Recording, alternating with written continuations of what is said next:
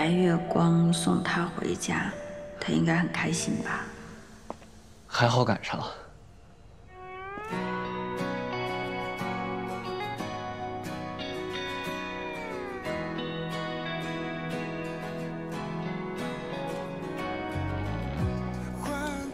你你怎么来地铁站了呀？你不是开车的吗？车呢？你不愿意开，我就停在菊川了。那儿停车费很贵的，浪费。那也总比你不开心强。是不是生我气了？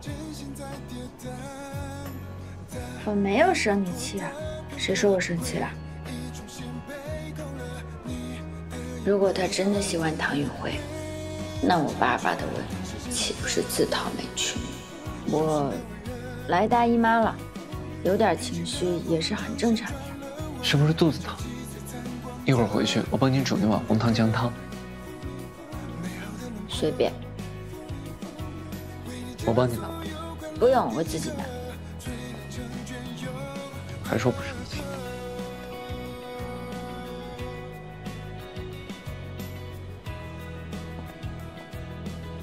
我问你个问题呗，你大学时期喜欢什么类型的女孩呀？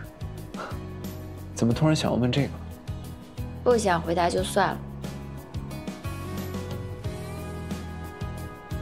没有什么特定的类型，只要是他什么模样都行。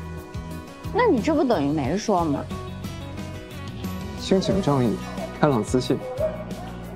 这是写在招聘启事上的东西。